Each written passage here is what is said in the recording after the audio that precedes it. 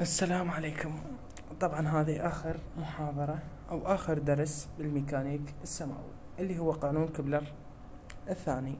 آه الثالث ما راح أخذه يعني ما راح لين يراد له وقت.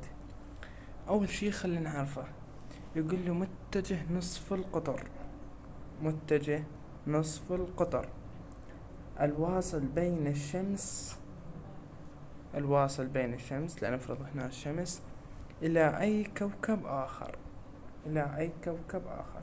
يقطع مساحات متساوية في أزمنة متساوية. في أزمنة متساوية. إذن منين أبدي أبلش؟ أقول معناتها إنه ال D A لل D T تساوي لك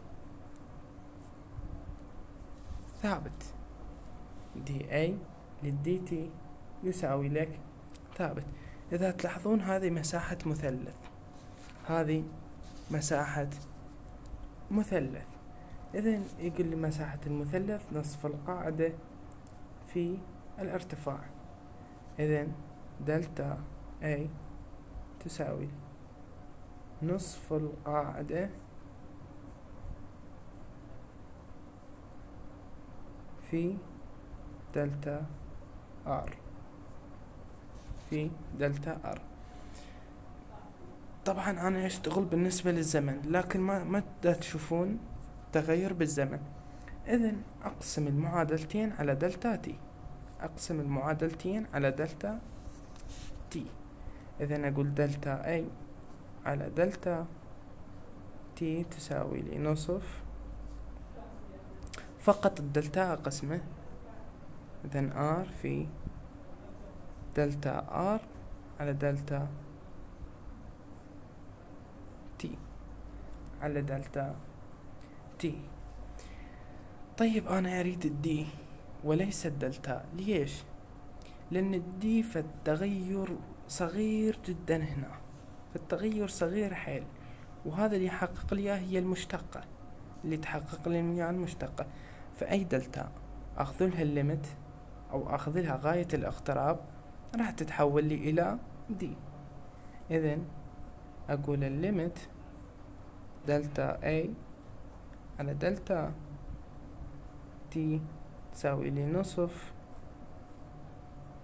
R في في limit دلتا R على دلتا T على دلتا A.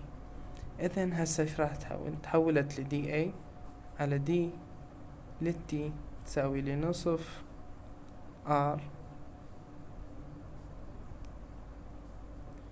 في هذه كذلك صارت D R على D T على D T D R على D T هي ال V D R على D T هي ال V إذن D A على D T تساوي لي نصف R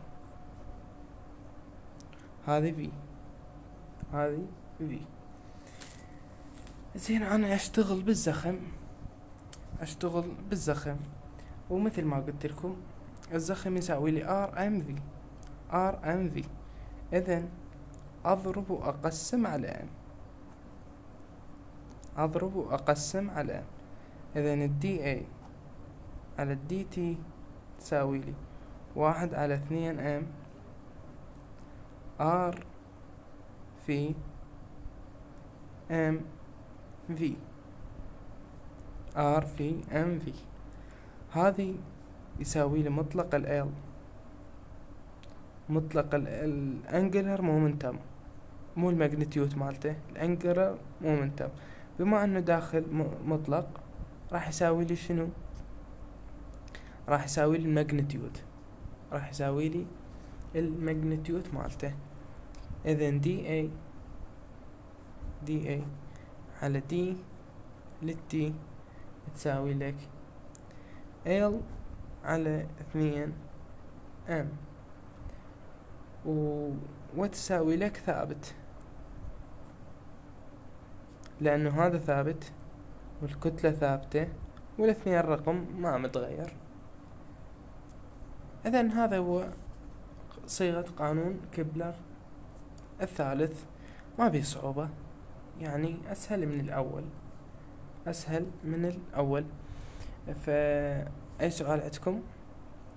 أي سؤال عندكم تقدرون تركونه بالتعليقات أو تراسلوني وإن شاء الله نقدر نجاوبكم عليه.